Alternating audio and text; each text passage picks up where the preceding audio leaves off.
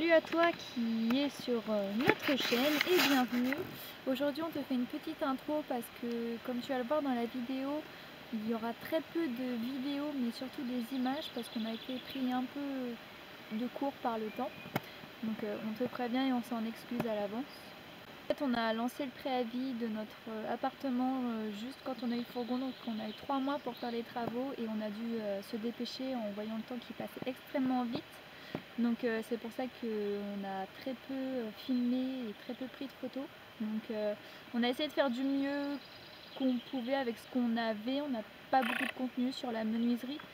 Donc ce qu'on t'invite à faire c'est poser toutes les questions que tu as si tu en as et on y répondra, on s'engage vraiment à y répondre et on s'excuse encore une fois.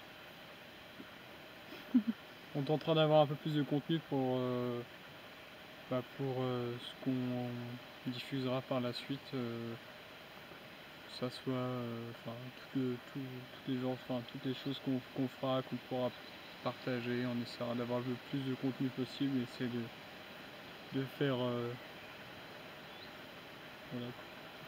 De toute façon, la vidéo précédente, c'était l'aménagement de notre fourgon où on fait la visite. Donc je te mets ça, je te mets une petite fiche quelque part là sur l'écran et tu peux aller voir pour comprendre un peu plus en détail ce qu'on a fait.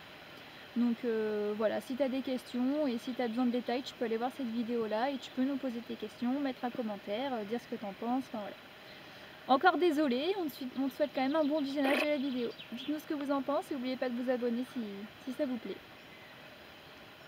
Bisous Bisous Alors, vu que nous on est des petits malins, on profite de la nuit, enfin de la tombée de la nuit, pour finir euh, le découpage des parois, donc ça c'est le contreplaqué qu'on ne verra pas qui sera sous notre coffrage lit. Le coffrage lit servira de rangement, vous verrez ça au moment où ce sera fini. Et du coup, puisqu'il fait bon à l'intérieur, plutôt que d'utiliser le chauffage soufflant dans le camion et de l'azurer, on va faire ça à l'intérieur, comme ça on est directement dans les bonnes températures. Puis on a un support et on perd pas de temps vu qu'il fait nuit, enfin voilà. Alors, c'est un peu le bazar. Voilà, euh, elle est en train de lasurer le ce qui va nous servir de mur de paroi dans le camion. C'est comme ça. Et après, ouais, ouais, quand même. Et après, c'est tout brillant, c'est un peu plus jaune. Jaune. Jauni, mais. Euh, c'est jauni, c'est de la lasure.